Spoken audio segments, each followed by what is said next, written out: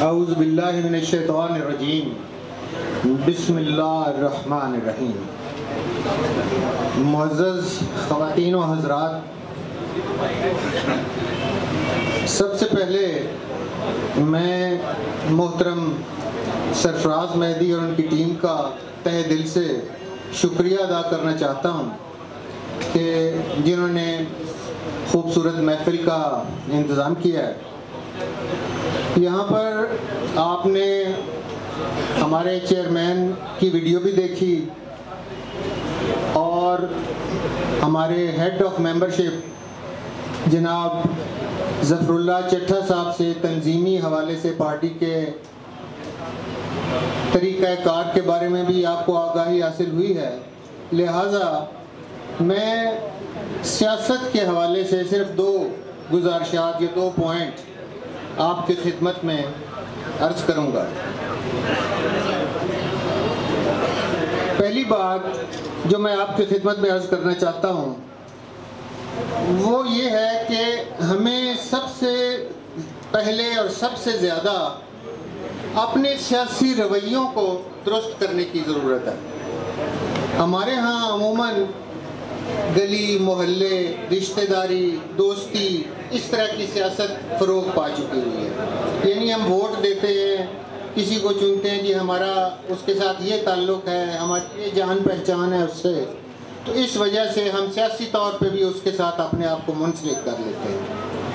لیکن ہم یہ بات نہیں سوچتے کہ ہماری یہ پرسنل تعلق، ہمارا پرسنل کسی کے ساتھ ریلیشن شپ ہماری رشتہ داری، یہ اس کی خاطر ووٹ دے دینا ہمارے ملک کے لیے کتنا نقصان دہ ہو سکتا ہے۔ اس کی مثال میں اگر عرض کروں تو وہ یوں ہوگی کہ جیسے ایک درخت کی مثال ہے، جس میں ہر شاخ کے اوپر آپ توجہ دیں، اس کے پتوں کو سنوارے، وہاں پر اسی شاخ کے متعلق کنسرن رہیں۔ لیکن اس درخت کی جڑوں کو کوئی کاٹ رہا ہے، درخت ضائع ہو رہا ہے اور آپ اس طرف توجہ نہ دیں، بلکہ اپنی شاخ پر بیٹھے ہوئے مطمئن محسوس کریں۔ تو اس کا حل، اس کا نتیجہ کیا نکلے گا؟ نتیجہ یہ نکلے گا کہ جب درخت گرے گا تو شاخ اور پتے بھی اس کے ساتھ ہی جائیں گے، جس میں آپ بیٹھے ہیں یا جس کو آپ ترقی دینا چاہ رہے ہیں۔ ملک کی سلامتی کے ساتھ وہ چیز وابستہ ہے۔ تو میری آپ سے گزارش، پہلی گزارش یہ ہے کہ اپنی سیاست کے معیار کو ذرا بدلیں۔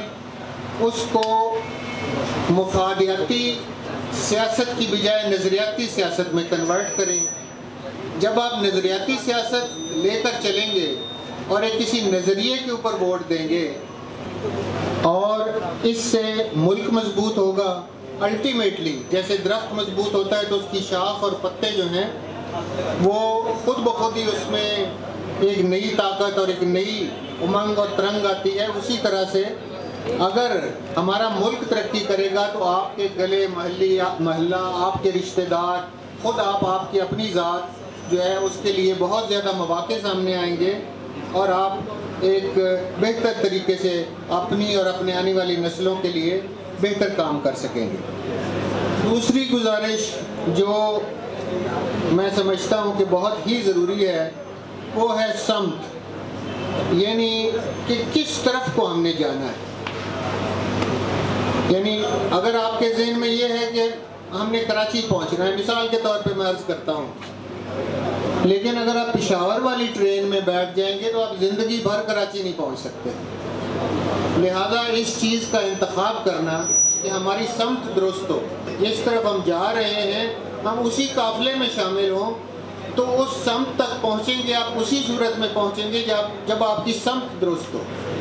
ایک صورت حال یہ ہے کہ جی آپ کوشش کر رہے ہیں اور قذافی اسٹیڈیم کے ارد گرد ہی چکر لگا رہے ہیں۔ آپ بھلے ہزار چکر لگا لیں۔ لیکن آپ قذافی اسٹیڈیم میں ہی موجود رہیں گے، آپ کی ڈیسٹینیشن یا منزل آپ کی کہیں نہیں آئے گی، آپ وہیں گھومتے رہیں گے۔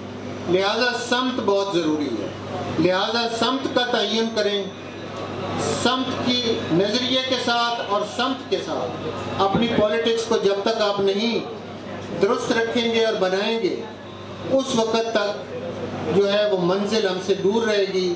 لیکن جیسے ہی یہ ان دو پوائنٹس کے اوپر اگر آپ نے کام کیا، اگر اس کے اوپر آپ کنونس ہوئے، تو میں نہیں سمجھتا کہ منزل جو ہے وہ زیادہ دور ہے۔ لہٰذا اذان ہو گئی ہے، نماز کا بھی ٹائم ہے۔ لہٰذا ان دو، باقی آپ نے خواجہ صاحب کی بھی تقریر سن لی، پارٹی کی تنظیم کے حوالے سے میجر صاحب آپ نے سنا ہے۔ تو یہ موٹیویشن کے لحاظ سے یہ جب تک ہم، جب تک ہم خود نہیں کریں گے کوئی باہر سے آگے اس ملک کو ٹھیک نہیں کرے گا۔ اس ملک کو جو بھی اس میں پرابلمز ہیں وہ ہمیں خود ہی ٹھیک کرنے ہیں۔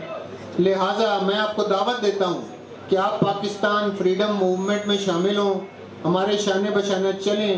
الحمدللہ ہماری سمت بھی درست ہے اور ہم نظریاتی سیاست بھی کر رہے ہیں۔ تو اسی دو پوائنٹس کے اوپر آپ ہمیں جوائن کریں۔ ہمارا ہمارا دست و بازو بنے اور انشاءاللہ اگر آپ ہمارا ساتھ دیں گے تو میں آپ کو یقین سے کہتا ہوں کہ منزل زیادہ دور نہیں ہے۔